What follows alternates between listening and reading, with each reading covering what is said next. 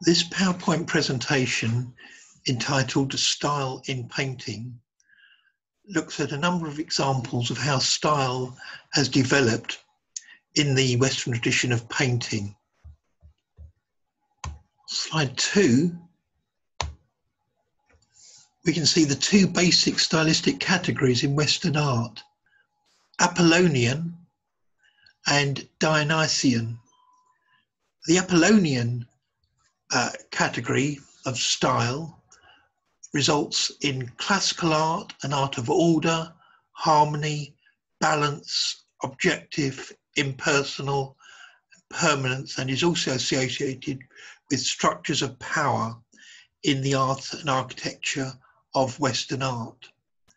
By contrast, the Dionysian category of style in Western art results in such uh, stylistic movements as Romanticism, the Baroque. It's characterized by dynamic, restless, intuitive, expressive, irregular, self expressive, and individual modes of uh, visual um, representation.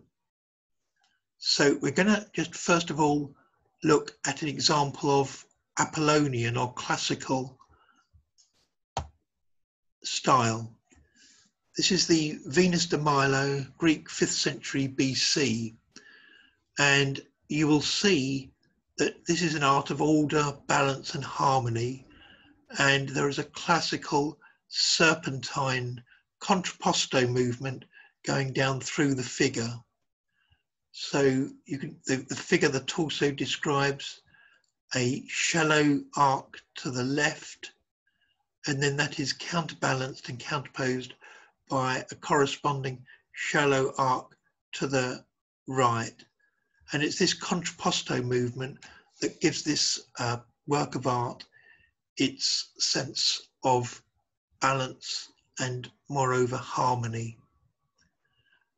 This classical impulse in art continues throughout uh, the, the long tradition of Western art and is to be found in all centuries, including the 20th century. And here we have an example of 20th century, late 20th century British um, painting by the British artist Euan Uglow. And again, because of the composition, the, the balance and harmony in the positioning of the figure, we can see an art of order, balance, and harmony. Um, the, the figure is situated in a very um, ordered fashion. Uh, there is a sym symmetry in the figure and also the artist's um, sense of personal expression is subordinated to the classical idea of an objective view, that is to say the artist wanting to communicate exactly what his perceptions were telling him.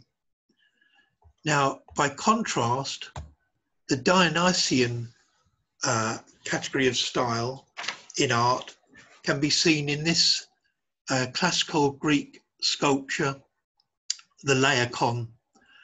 Um, and the movement in this figure is very dynamic it's also really quite complex.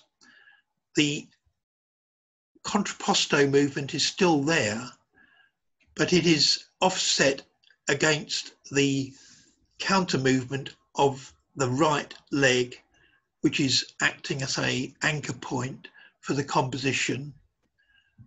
And then the rhythms of the serpentine movement of Laocoon are echoed in the circular forms made by his two sons. And the whole restless energy of this sculpture is accentuated by the serpent, which is writhing around through space around this uh, sculptural group. Now, this impulse in art towards uh, dynamism, restlessness, can also be found in later centuries here we have a painting by El Greco, The Annunciation, which is a Baroque painting from 1609, where you see this sense of restlessness continuing through the rhythms in the painting. Figures at the top. Again, these circular contrapposto movements echoed in the, in the cloud and continued down into the two figures. And the, the painting is also Dionysian in its expression of uh, a personal, um, individual temperament. Um, and again, a, a good example of that is the way the artist creates these very strong contrasts of light and shadow, making for a drama.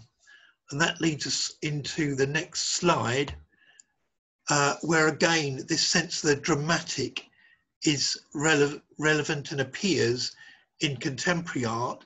Here we have the contemporary British artist Chris Ofili and a photograph of his installation, The Upper Room, which is a series of uh, 13 canvas paintings uh, arranged in a purpose-built space.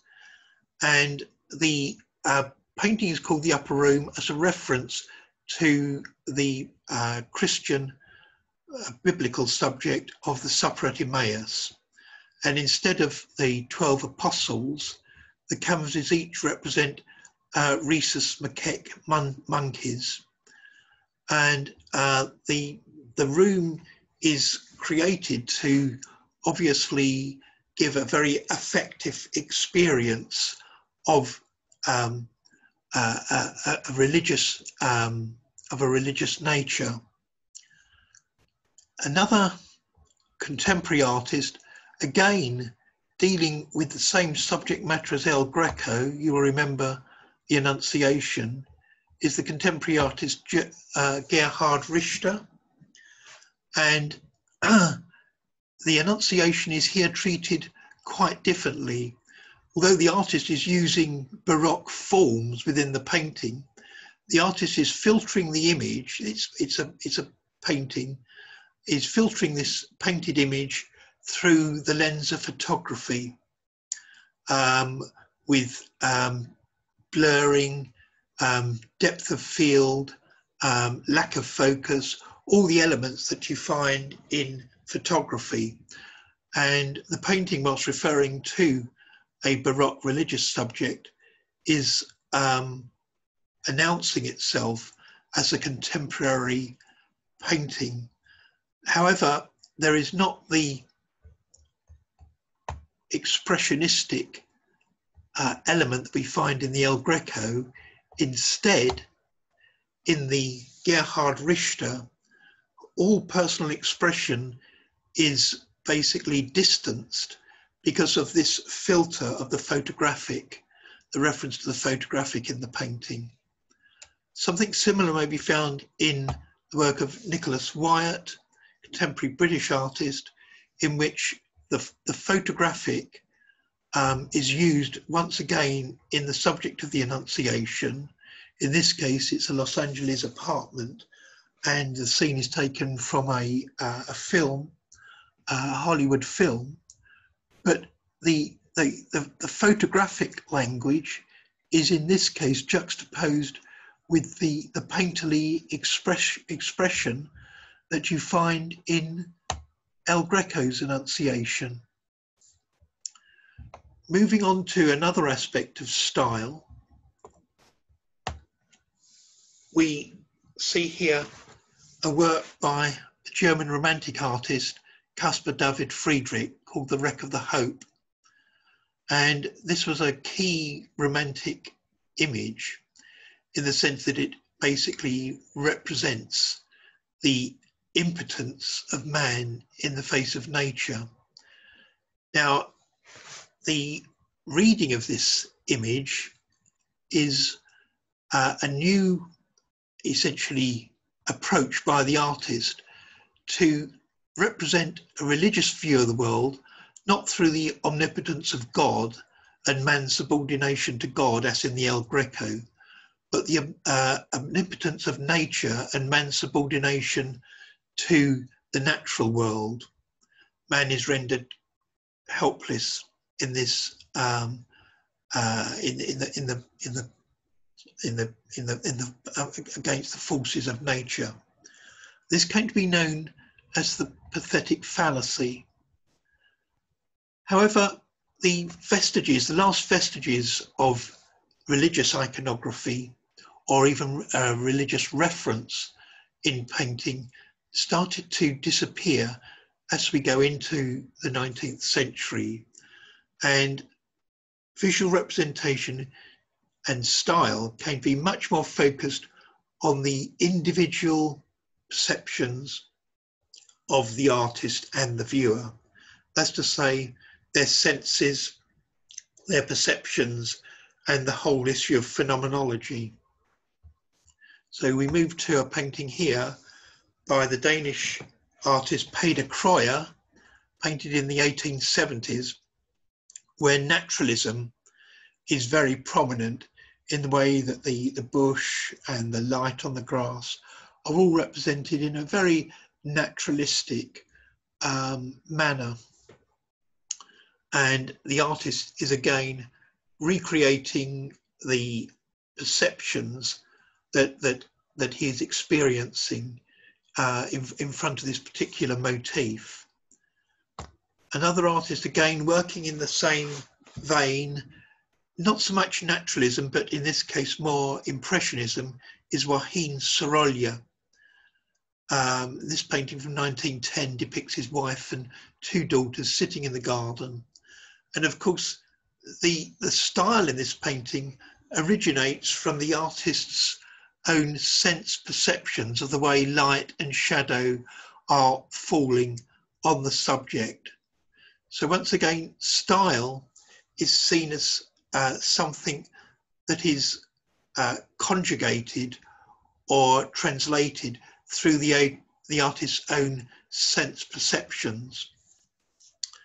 As we move on with the development of style in art, um, the, the, the, the paintings that we've been looking at in the last two or three slides all originate from this Dionysian aspect, essentially, uh, one that is focused on, on the importance of the individual and the individual's response to the world, either through their sense perceptions. And in the slides that we're going to look at, this is taken to a much greater degree by not only uh, the art being a result of the individual's sense perceptions, but in, in the case of the next slides, in relation to the individual's own psychic and um, inner psychological uh, responses to the uh, natural world.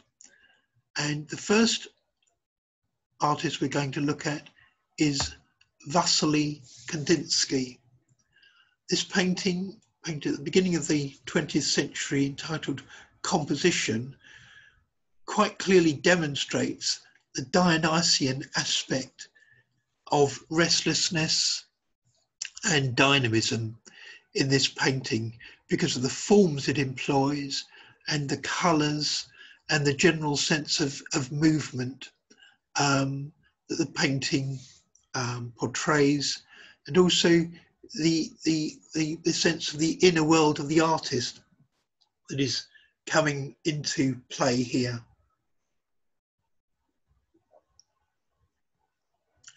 By contrast, the inner world of the artist is interpreted quite differently in a, in a radically different style. In the case of Piet Mondrian, the Dutch abstract artist, who incidentally started his painting career as a figurative artist, producing symbolist landscape painting in the Netherlands.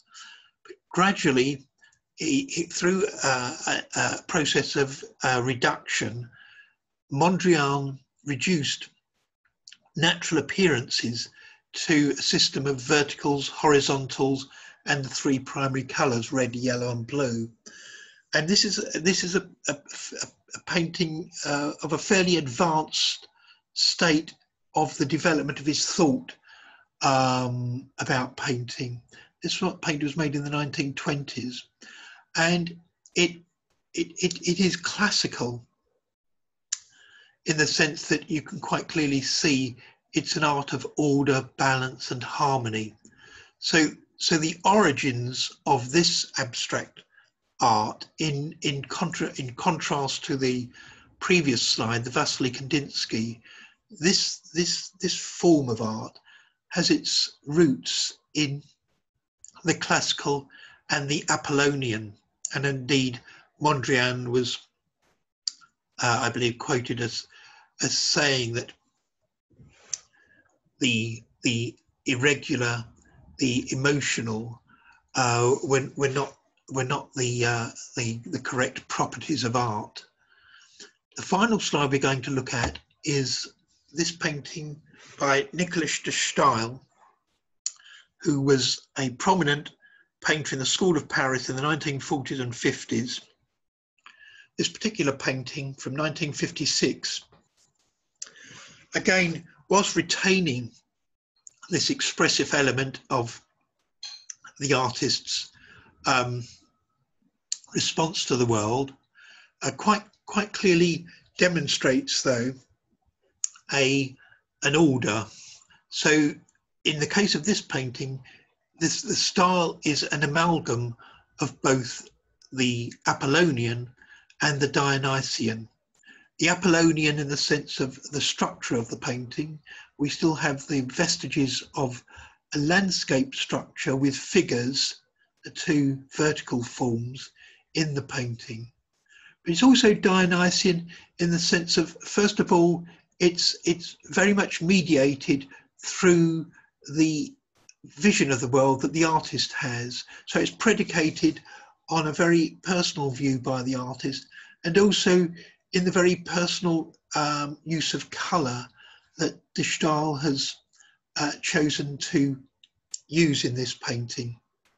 So in summary, style is a, a very important um, aspect of understanding paintings. Style changes according to period, it changes according to different cultures, and it also, uh, in, in the modern era, style is uh, predicated upon the individual artist's style.